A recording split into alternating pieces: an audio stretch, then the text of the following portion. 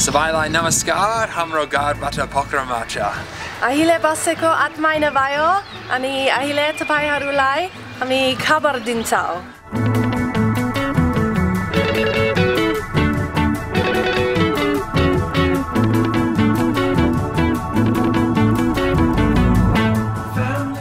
Yeah, well, it's been eight months over here and we've been having an incredible time. And we want to thank you guys uh, at the Grainery, our church family, for sending us and for all your support uh, and your prayers and your encouragement. It's meant so much to us. And we know you guys have started off the year with a new series, uh, The Bigger Plan. And for us, it's been really exciting here in Nepal, seeing God's bigger plan for the world, really, and uh, in the communities that we've been a part of. So we just want to share some of those stories with you.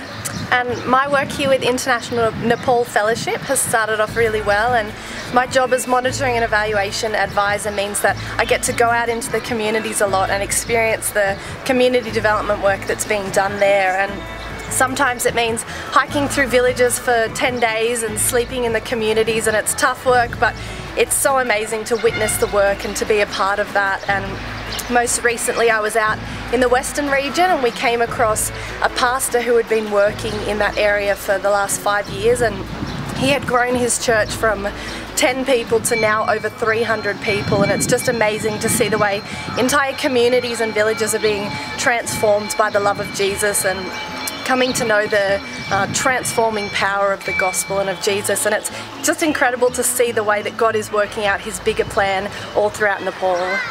And for myself, uh, I've been doing some work with INF, but also with World Vision. We've uh, pioneered a new program here to Nepal, enabling everyday Aussies the opportunity to come over and see the work in communities.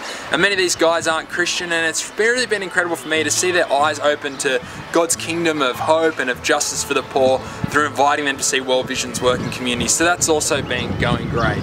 We also just love being a part of our local community and it's amazing to see the way God is allowing us to build relationships with our neighbours and our friends in this local area. A couple of months back we went and we bought an old foot pedal sewing machine and that Saturday at church we recognised the shop owner. Um, she had come to church for the first time and she's from a Brahmin family and God has just been working in her life. She became a Christian along with her husband and they got baptised on Christmas Day and they had their two children dedicated and it's just been amazing to witness the transforming power of God in their lives. Yeah, so that's just a few stories. Uh, we share plenty more on the email updates that some of you guys receive and on Facebook. And if you don't already receive them, we'd love to be able to get them to you so we'll get the information for all of that to you. But uh, for now, thanks so much for journeying with us. Uh, we miss all you guys back home. Uh, but yeah, we're doing well over here and loving what we're up to. Catch Bye. you later.